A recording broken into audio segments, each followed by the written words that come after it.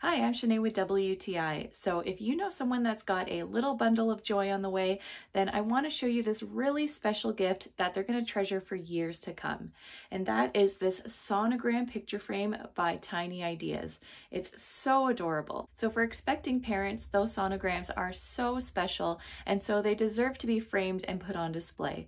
So the dimensions for the actual photo part are 4 inches by 5 inches and the dimensions for the white background are 11 and a half inches by nine and a quarter inches. So it works really well as a picture frame guest book for a baby shower. Uh, there's plenty of room for guests to sign their names and leave a sweet message for the expecting parents. And it even comes with a metallic marker if that's what you're using it for. The frame feels like it's sturdy, it's a good quality. There's a hook on the back if you wanted to hang it on the wall, and there's also an easel if you wanted to stand it up. So I absolutely love this gift idea. Uh, someone gave this to me when I was expecting my first baby, and I've given this to a couple of my friends that were expecting, and they loved it as well. So I think this is a wonderful gift that will definitely be cherished, and that's my point of view.